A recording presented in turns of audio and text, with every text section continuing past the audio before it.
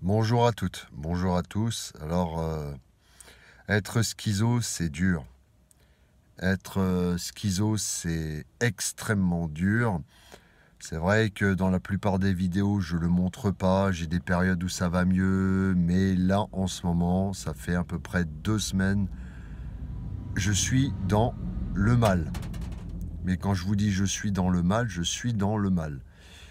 Euh, c'est difficile parce que le cerveau, finalement, euh, c'est ce qui contrôle le corps. Et parfois, j'ai tendance à perdre pied en ce moment, je vous le cache pas. Euh, ce n'est que pour faire les, activités quotidiennes. Euh, alors, je me bats. Ça, je me suis toujours battu. Parce que je me dis que de toute façon, la libération, enfin la libération, vous allez peut-être mal le prendre ou bien le prendre, je ne sais pas. Mais euh, l'objectif ultime, c'est d'atteindre un âge le plus reculé possible et euh, d'arriver au stade où on a accumulé un maximum d'expérience. Mais là, mes amis, je suis dans un stress constant H24. Euh, depuis deux semaines, non-stop, stress, stress, stress. Je me fais des films, vous imaginez pas, je pourrais être un réalisateur de films, des, des scénarios, euh, mais qui me génèrent encore plus de souffrance. Je me méfie de tout et je suspecte tout. Mon traitement euh, n'a pas évolué, mais je sens que je vais avoir vraiment besoin d'augmenter le traitement. Euh, sans vouloir être un zombie, il s'avère nécessaire. Il s'avère nécessaire. je ne peux pas vivre sans. Je, sais pas comment font les gens pour se sevrer. Je ne peux absolument pas vivre sans mon traitement. Euh, mais c'est chaud. C'est chaud. Euh, là où ça devient vraiment chaud, c'est quand je fais des activités quotidiennes. Euh, je perds le contrôle, littéralement. Je perds le contrôle parce que justement le contrôle m'aide à éviter de faire n'importe quoi mais euh, par moment, par moment, euh, je perds la tête, quoi. C'est-à-dire, euh, je suis plus je suis plus dans l'instant présent. Voilà. Alors c'est vrai que j'ai fait bon nombre de vidéos vous disant que qu'il fallait te motiver, il fallait rien lâcher, et je suis toujours dans cette optique. Mais alors j'en chie. En ce moment, mes amis, vous imaginez pas. Alors je sais qu'on en chie tous plus ou moins, ce qui fait que j'en chie tellement, et d'ailleurs euh, je vous recommande de faire de même, que j'évite les merdias, j'évite les mauvaises nouvelles, les anticipations de trucs catastrophiques qui vont arriver. Je suis tellement déjà dans euh, juste ma vie, euh, dans la difficulté intérieure, je ne le montre pas, vous le voyez peut-être pas, mais à l'intérieur c'est chaud à gérer. Émotionnellement c'est chaud. Voilà. Euh, il y, a, un environnement forcément négatif qui peut impacter, mais euh, pour une personne normale, un, un, environnement négatif comme le mien, elle s'en fout. Elle s'en fout, euh, comment je pourrais dire, ses émotions sont de marbre, quoi. Elle calcule pas. Alors que moi, je fais attention à tout, à n'importe quel détail, à n'importe quel truc. Et ça fait partie de la, pathologie, je pense, parce que j'ai refait un test, je suis retombé sur des trucs euh, qui confirment euh, finalement les, les, dires euh, du, fait, du fait que j'ai vraiment, vraiment quelque chose. À un moment donné, je me dis, ça se trouve, oh, dans les périodes où ça va, il y a des périodes où ça va un peu mieux, je me dis, ouais, non, non, je suis en train de guérir. Bah non, bah non, je suis pas en train de guérir, non, non, je suis en train justement, juste d'avoir une période de calme avant euh, de retomber dans du combat, quoi. Et euh, mais c'est même pas ce qui se passe à l'extérieur qui est important. C'est que à l'intérieur, euh, c'est pas bon, quoi. C'est pas bon.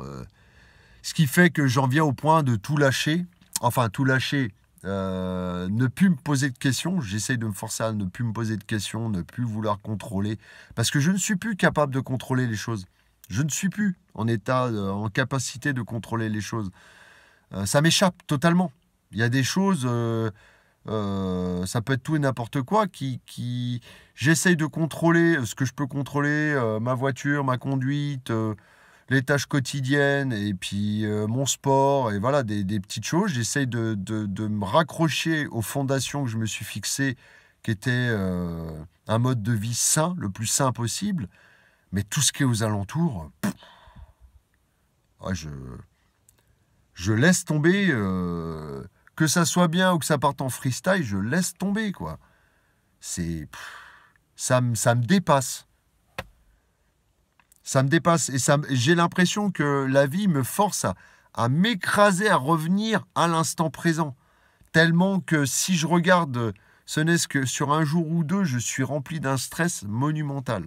Si je continue à me faire des films, je suis rempli d'un stress monumental. Donc, euh, je peux pas. Je peux même plus faire ce que je faisais avant. Et en plus, je ne suis pas un individu qui aime avoir mal. Voilà. Euh, personne n'aime la douleur de toute façon. Voilà. Euh, donc, euh, donc je fais ce qu'il faut.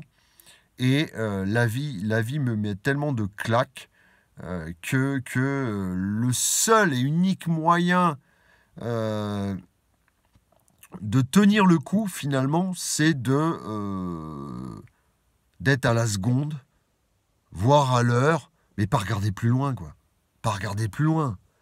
Oh là là, déjà les, trucs qu'ils foutent sur les vidéos et euh, c'est anxiogène. Mais je peux même plus. J'ai essayé d'en regarder deux trois hier soir, de me renseigner sur l'actualité, mais je ne peux même plus. C'est trop, c'est trop, c'est trop, c'est trop, c'est trop. Et euh, je peux plus. Là, là, là, euh, les seuls trucs que, que, je peux arriver à faire, c'est me cantonner, à me concentrer sur des petites tâches quotidiennes, journalières, et je ne sais pas de quoi il fait demain, à la limite, je m'en branle. Euh, c'est vrai que beaucoup d'amis m'ont dit, mais tu t'en branles de ce qui se passe euh, plus loin ou euh, dans ton environnement, concentre-toi sur toi, tu t'en branles. Tu t'en branles. Où que je sois, c'est vrai que j'ai tendance à me concentrer sur mon environnement un peu, mais c'est pas possible. Donc je regarde mes pieds, je regarde le ciel, je, je ferme les écoutilles. Vous savez, à ce moment-là, Dieu nous a donné des sens, nous a donné cinq sens. Et il y a quand même deux sens qui, dans une maladie euh, psychiatrique, peuvent nous porter préjudice. En général, c'est la vue et l'ouïe. Voilà, euh, voir et entendre. Et ces deux sens-là sont compliqués dans la gestion euh, des émotions parce que on peut interpréter tout et n'importe quoi alors que ça n'a pas lieu. Euh, ou alors ça a lieu et on s'en fout, ou alors, mais c'est complètement variable. Et, finalement, ça nous donne qu'une seule envie, en fait, de, de nous recroqueviller dans notre petite intériorité. Euh, et pour oublier tout, c'est vrai que là, là c'est dangereux pour les besoins d'évasion. C'est dangereux pour les besoins d'évasion, euh, parce que là, on a vraiment envie de, de boire un coup, de fumer un truc, euh, pour planer, quoi, parce que c'est insupportable. C'est invivable. C'est invivable. C'est. J'attends, j'attends que la tempête passe, sérieux. Hein. La tempête émotionnelle passe, parce que là. Alors j'essaye de respirer, j'essaye de méditer, J'arrive même plus à me mettre sur des, loisirs qui me font plaisir. Donc euh, je... Ouais, ouais, on pourrait dire en quelque sorte que je, suis en mode survie. Mais vraiment survie, c'est-à-dire euh, je tiens debout. Ce qui est sûr, c'est que je ne lâcherai pas. C'est ça que je me suis dit euh, quelque part. Et en plus, de, de, vraiment vivre au jour le jour, voire à la seconde parce que tout peut changer en une heure, deux heures. Il y a tellement d'imprévus dans cette vie, tellement d'imprévus dans ce pays, tellement de tensions aussi dans ce pays que faut pas regarder trop loin. Faut vraiment pas regarder trop loin. Et de toute façon, moi, j'en ai plus la capacité, quoi. Euh, la capacité d'anticipation de ce qui peut éventuellement se passer et d'étudier toutes les possibilités et de me faire 36 000 films mais ça génère une souffrance immense. Alors je ne sais pas si vous êtes dans mon cas, dites-le dans les commentaires, mais euh, je peux plus. J'essaye vraiment d'être ancré sur des petites choses que je peux faire l'une après l'autre. Je regarde même pas la deux, troisième, quatrième chose à faire euh, dans la journée, non. Je fais une chose, je regarde cette chose-là. Euh, qu'est-ce que j'ai à faire? Ouais, il y a celle-là en, deuxième. Bon, bah, je me focalise sur la deuxième. Mais je regarde pas. Je regarde plus. Je, je, je peux plus. Je, je peux plus. Ça, ça, génère trop de souffrance, mes amis. Donc, je vais continuer à avancer. Euh, il faut que je lâche du lest sur le fait de, tout contrôler. C'est pas possible. C'est pas possible, j'y arrive plus de toute façon. La vie me demande de, lâcher du lest et d'aller. J'allais souvent à contre-courant, j'avais la force, mais là, je me laisse euh, couler dans la rivière euh, et, je vais dans le sens du courant, quoi. Je peux faire que ça, parce que sinon, ça va me créer des, dégâts sur moi, ma santé émotionnelle, voire ma santé physique, qui peuvent être euh, mauvais, extrêmement mauvais. Un poison violent qui parcourt le corps, quoi. Donc. Enfin voilà, je...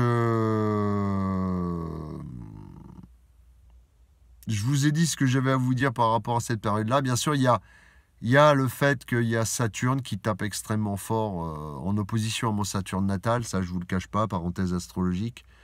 Je pense qu'il y a un lien avec ça et euh, de toute façon, je ne vais pas avoir de choix d'être dans l'acceptation. Une acceptation qui va être un paroxysme que je n'ai jamais atteint. Ça va être chaud, moi qui suis contrôlant de base, euh, mais je sais qu'au bout du compte, ça peut être extrêmement transformateur. Euh, les récompenses, je ne les vois pas. Le trésor, à l'heure actuelle, je ne le regarde pas. Il tombera quand il tombera. Euh, pour l'instant, je suis dans le dur. Pour l'instant, je suis dans le mal. Pour l'instant, je gravis la montagne. Mais là, là, avant, la pente, elle était comme ça. Là, en ce moment, la pente, elle est comme ça, quoi. Voilà. Donc, donc j'y vais petit à petit. Plus la pente est, est raide, plus il faut y aller petit à petit. Plus on sent qu'il y a une accalmie et la pente est comme ça, plus on peut accélérer. Mais là, quand je dis petit à petit, c'est finalement regarder ses pieds, quoi. Regardez pas plus loin, quoi. Et quand vous pouvez vous le permettre, que vous avez une pente qui est comme ça, bon là, vous pouvez vous permettre de regarder un peu plus loin, prévoir quelques trucs. Mais si la pente est comme ça, euh, non, non c'est pas la peine. Mes amis, Prenez soin de vous et je vous dis à bientôt pour une prochaine vidéo. Au revoir.